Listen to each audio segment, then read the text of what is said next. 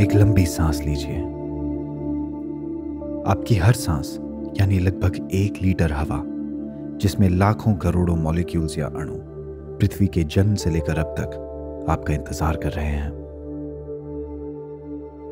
हम अपनी दिनचर्या में भूल जाते हैं कि हम कितने छोटे हैं, कि हम एक घूमते पत्थर पर क्षण भर के निवासी हैं, और मात्र पंद्रह करोड़ किलोमीटर दूर आग का एक गोला जिसकी सतह 5500 डिग्री पर जल रही है। हमारी हर ऊर्जा का स्रोत है। हम भूल जाते हैं कि पृथ्वी की सतह से मात्र कुछ ही किलोमीटर दूर अंतरिक्ष का खालीपन शुरू हो जाता है। इस खालीपन में हर वो चीज़ जिसे हम सामान्य मानते हैं, खत्म हो जाती है। और शुरू हो जाता है एक ऐसा माध्यम जो पूरे ब्रह्मांड को जोड़ता है।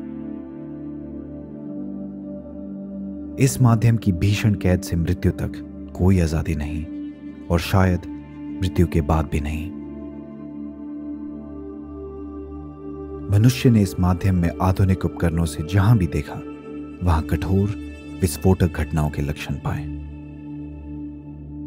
इसी तरह की घटनाओं ने हमारे सौर्य मंडल को जन्म दिया।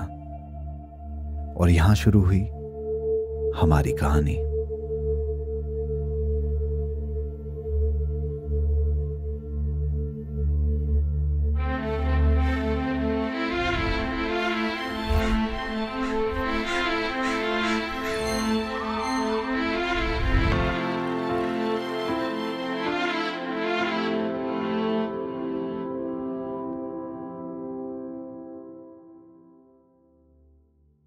मनुष्य हज़ारों सालों से सोचता रहा कि पृथ्वी ब्रह्मांड के बिल्कुल बीच में है।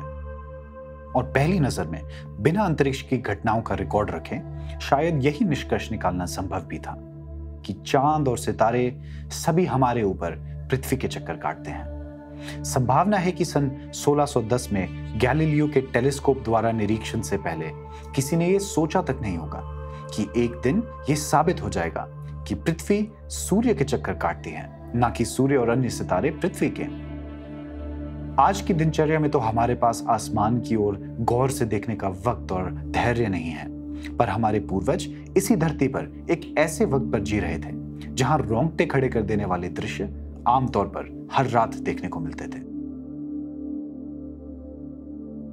पिछली कुछ सदियों में दुनिया की लगभग हर सरकार के अज्ञानी रवैये के कारण न सिर्फ़ हवा का प्रदूषण बढ़ता गया पर एक नए किस्म का प्रदूषण भी बढ़ता गया, जिसके बारे में आपने शायद ही सुना होगा। यह है रोशनी का प्रदूषण। रोशनी का प्रदूषण तब सामने आता है जब सूरज ढलने के बाद, आसमान खाली होने के बावजूद। अंतरिक्ष को देख पाना या मुश्किल हो या असंभव। यानी आसमान में या तो कुछ ही तारे हों या वो भी नहीं।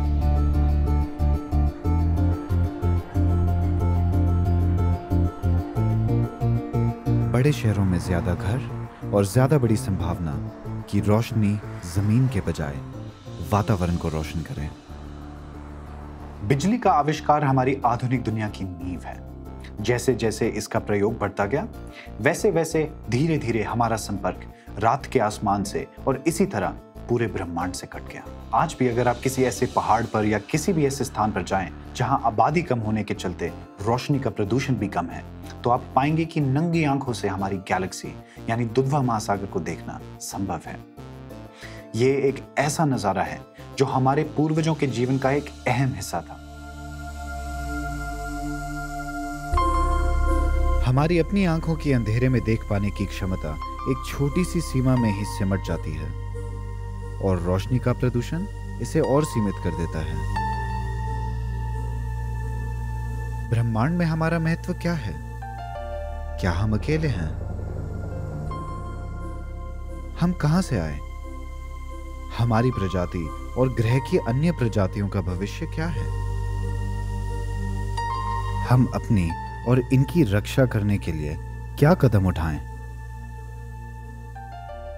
हमारा रात के आसमान से और इसी तरह पूरे ब्रह्मांड से रिश्ता टूटने के बाद ये सवाल सोचने की क्षमता भी हमने कुछ हद तक खो दी है।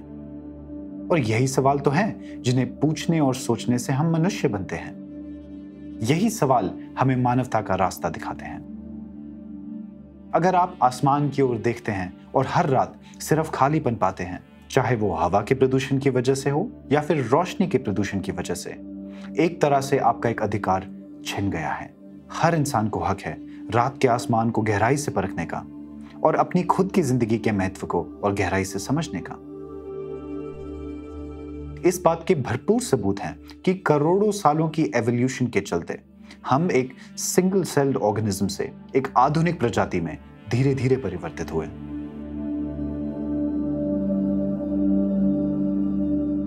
हम ज़िंदगी जीते हैं एक सेकंड प्रति सेकंड की रफ्तार से। सुनने में अजीब लगता है पर विज्ञान हमें साहस देता है ऐसी चीज़ों को समझने का, जो हमारी शारीरिक क्षमताओं से बाहर हैं।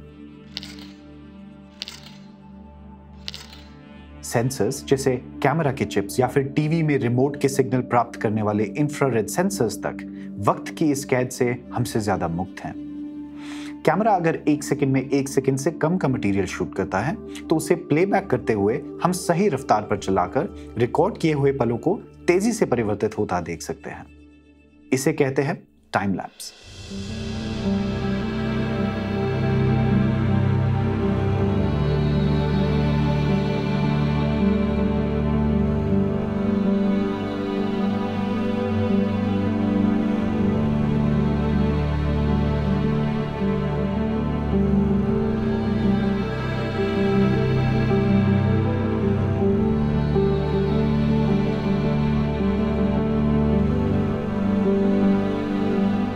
सैटेलाइट से ली हुई दशकों लंबी तस्वीरों को तेज़ी से बदलता देख कई चीज़ें साफ़ हो जाती हैं। मानवीय अनुभव बहुत सीमित है। पूरी दुनिया का हर देश एक दूसरे से जुड़ा हुआ है। हमारी भाषाएँ, संस्कृति और नागरिकता भले ही अलग हो, पर हमारा वातावरण एक ही है। आधुनिक दुनिया का लगभग हर हिस्सा इसी नई सोच से प्रेरित है। कॉज एंड इफ़ेक्ट यानी कारण और प्रभाव। इससे पहले कि हम सेंसर्स और कंप्यूटर्स का इजाद कर सकते, मनुष्य को लाखों साल अंधेरे का सामना करना पड़ा।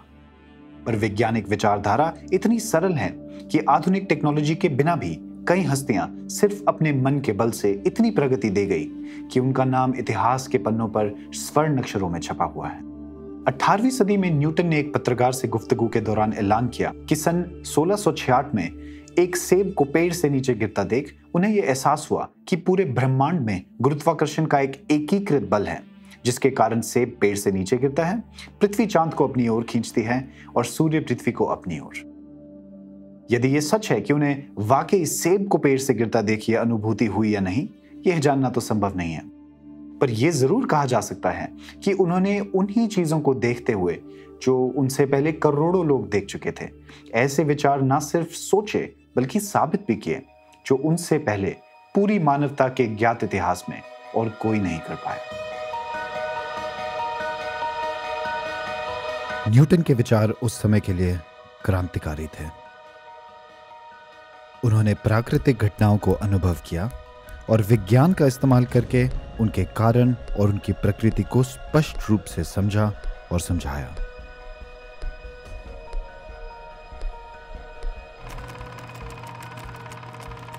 In the late summer of 1977, two unmanned spacecraft, Voyager 1 and 2, lifted off from Cape Canaveral atop Titan Centaur rockets. Traveling uninterrupted through interstellar space, the Voyagers will endure forever, long after everything man has ever built has crumbled into dust. Newton और उनके बाद के हज़ारों scientist के काम के बाद अद्भुत आविष्कार संभव हुए। नासा ने वर्ष 1977 में वॉयजर सीरीज़ लॉन्च की और आज ये मनुष्य के द्वारा बनाई गई सबसे दुर्लभ और दूर स्थित वस्तुएँ हैं। ये हमसे 22 अरब किलोमीटर दूर हैं। ये इतनी दूर हैं कि आमतौर पर इतनी बड़ी संख्याओं का महत्व हम अच्छे से समझने तक की क्षमता नहीं रखते। वॉयजर सीरीज़ ने हमें बाहरी ग्रहों, यानी जुपिटर सैटर्न यूरेनस और नेपच्यून को करीब से देखने का मौका दिया। इनका मिशन था जुपिटर और सैटर्न का अध्ययन, और मिशन की अवधि थी केवल पाँच साल। परंतु ये दोनों प्रोब्स आज भी डेटा भेज रहे हैं लॉन्च के बयालीस साल बाद। जुपिटर को हम सदियों से टेलीस्कोप के ज़रिए देख रहे थे। पर सत्तर के दशक में वॉयजर ने जुपिटर को करीब से देखकर इस बात की पुष्टि कर दी कि ग्रेट रेड स्पॉट यानी विशाल लाल धब्बा, दरअसल एक तूफ़ान है। ये तूफ़ान लगभग पृथ्वी जितना बड़ा है और सैकड़ों सालों से कायम है।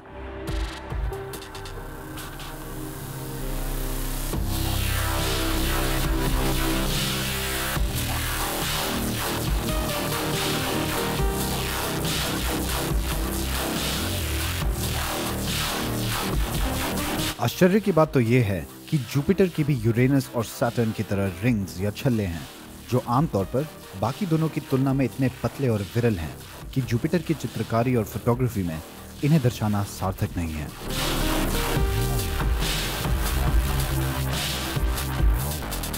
जीवन कठिन है।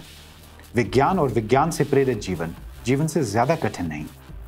अज्ञानी सोच ज़ाहिर तौर पर आपकी ज़िंदगी में महँगी पड़ेगी, ये बात निश्चित है। ध्यान अगर धर्म और दुश्मनों में बांट दिया जाए तो सड़कें क्यों टूटी हैं और धुआँ आसमान में क्यों छाया है? ये सवाल अपने आप समाज वैध मानना शुरू कर देगा।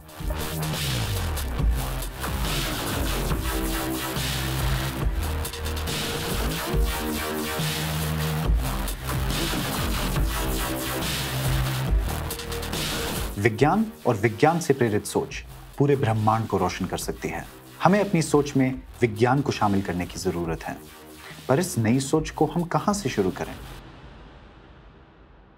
शुरू से शुरू करते हैं।